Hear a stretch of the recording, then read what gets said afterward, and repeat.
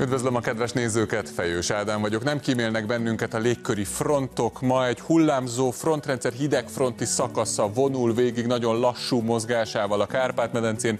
Mögötte átmenetileg emelkedik a légnyomás, átmeneti anticiklon miatt, tehát elsősorban pénteken, azaz holnap süthet ki hosszabb időszakokra a nap, aztán megérkezik egy újabb ciklon, először meleg, majd később hideg frontja, emiatt szombaton is és vasárnap is sok lesz felettünk a felhő, úgyhogy a holnapi napsütés lesz majd érdemes kihasználni, hiszen a mai nap gyakorlatilag nagyon ritkán lesz alkalmas arra, hogy szabadtéri programokat tervezzünk. Nézzék csak meg, egész nap az erősebben felhő, sőt keleten a borongós idő lesz a meghatározó, az erdélyi területeken a front érkezése előtt még azért megvan az esély arra, hogy 20-25 fokig emelkedjen a hőmérséklet, de ott zivatarok nagyobb számban alakulhatnak ki. Az ország keleti felében ugyanakkor a borult időben eső, záporok kialakulhatnak még a hidegfront vonulása miatt, viszont a középső és nyugati területeken szépen lassan csökken majd a felhőzet. Ezzel együtt 12 és 16 fok között lesz a hőmérsékleti csúcsérték, tehát több fokkal, helyenként több mint 10 fokkal visszaesnek